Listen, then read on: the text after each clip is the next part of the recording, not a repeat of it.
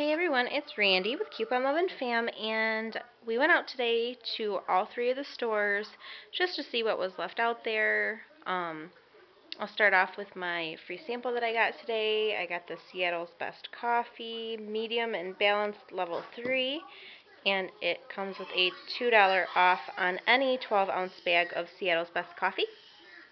Expires 6.30.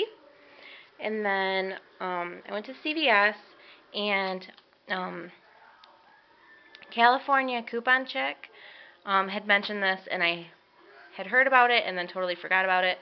So um, that $3 coupon that we got in the Parade or the USA Weekly um, magazine um, works on these.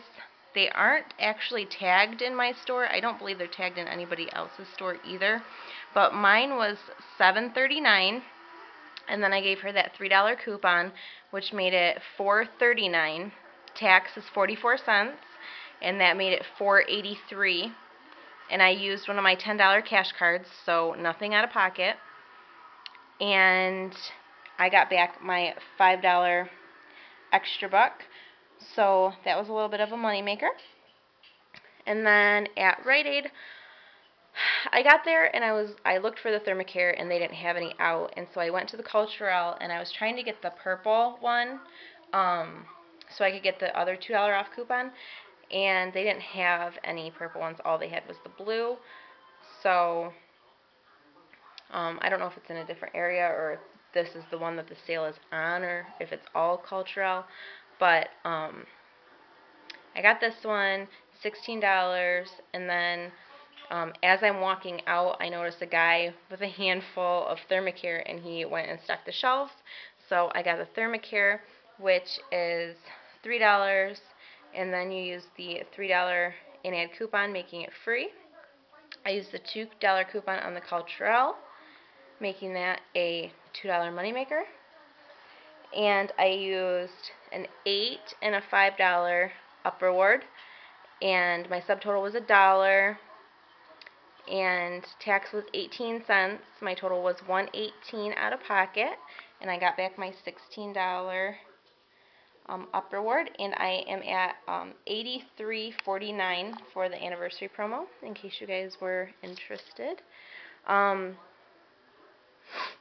Oh, for CVS, these were my um, Redbox coupons, a dollar off. Um, select Advil, Centrum, and Caltrate. See ad for details.